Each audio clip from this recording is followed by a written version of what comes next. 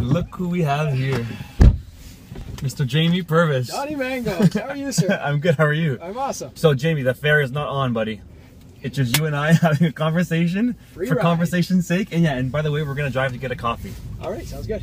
Constantly fascinated with the real estate market. Amen. You know when you're like, you know, you, you, you live in this world and you're thinking, okay, well, this is this is where I live, and then something happens and it changes. Like, oh no, no, it could be this, and then it just keeps going and going and going. I kind of feel like that's happening a lot in our office. Sometimes we we see things a certain way, and sometimes you've got to get outside of your comfort zone to, to see and be exposed to something bigger than what you know. Sure. You were there. I was there. We we both been in this for a long time. Yeah. We still look amazing, by the way. We I still look, look really marvelous. young. what worked doesn't work anymore. You've got to get out there and you know connect with people, connect with your client base. It's a people business. Yep. It's so simple. I think we tend to overcomplicate it. It's crazy, but fundamentally, I think what you're saying is absolutely accurate. It's, people. When you boil it down to, it's people. Google will give you answers to the questions that you ask, or what the questions you're not asking. Right. Right? Yeah. Find out what's important to people. Yep. Taking time to learn about people. I mean, I've sat in on sessions with you talking about planning, and it's it's difficult for guys like me because you really don't know what's happening six months from now. You haven't talked to the people that you're going to be helping six months from now. So how do you know they exist, right? Right. Um, but I think I think like one of the things you always preach is just doing the right things all the time, and, like and, and the results end up coming. You, you just you just know you're doing it. There's a little bit of faith involved for sure, Mhm. but it's just the, the right tasks done right over and over again generate repeatable success.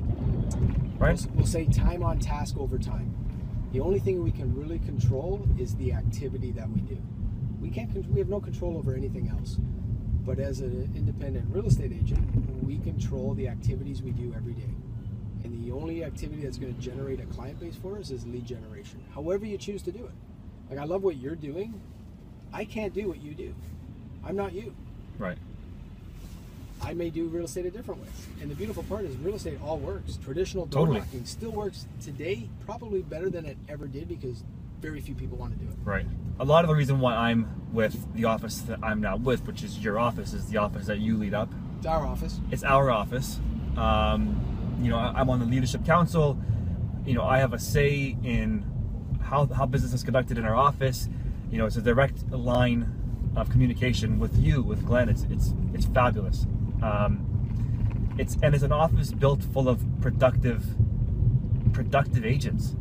And I gotta say, I mean, I I was one of those guys you talked about at the beginning of this conversation that was resistant to change. I mean, things worked really well for me, or so I thought. I think it was really, you know, I was I was happy being in in that in that environment in this office.